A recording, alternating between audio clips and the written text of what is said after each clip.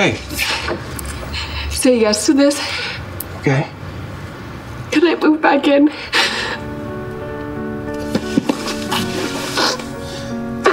Yes. But Ted, am I just the biggest idiot in the world? Look, think about all of us five years ago when we first met you. Marshall and Lily were just boyfriend and girlfriend. Now they're married and thinking about kids. And Barney, Barney was never gonna commit to anyone, ever. And last year, he fell in love. And me, I was chasing some girl I was convinced was the one.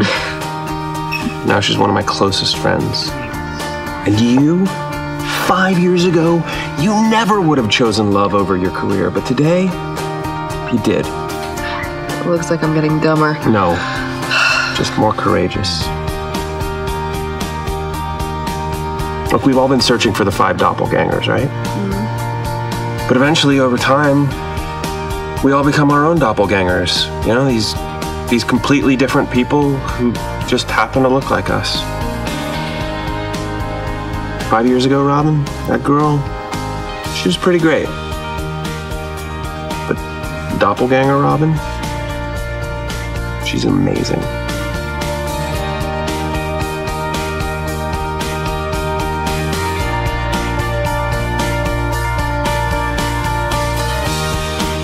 We've, um, we got a lot to drink. I don't care.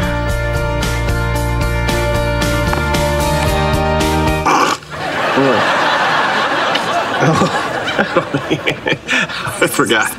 I'm blonde. I have blonde hair. And that's the story of how dyeing my hair blonde kept us from doing something we both would have regretted that night.